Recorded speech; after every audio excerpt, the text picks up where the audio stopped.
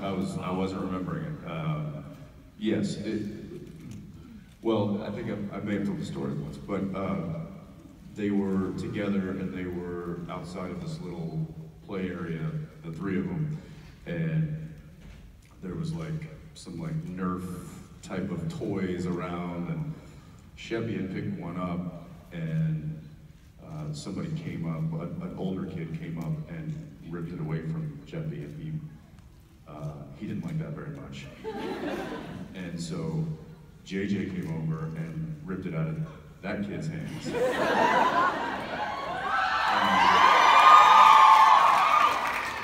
And then the kid ripped it, and the kid was a couple years older than JJ. He ripped it out of her hands, and I'm watching him like this isn't gonna. And then before I could even like get up and get over there, JJ just goes.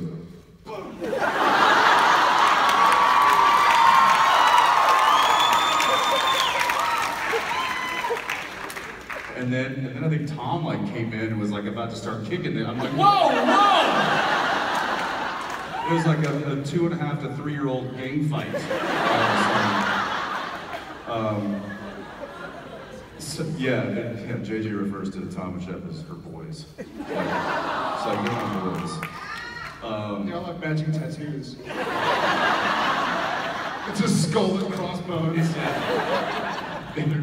yeah, little did we know that that was actually an, an initiation. Um, it, uh, dinners can be tough, uh, as, as anybody would.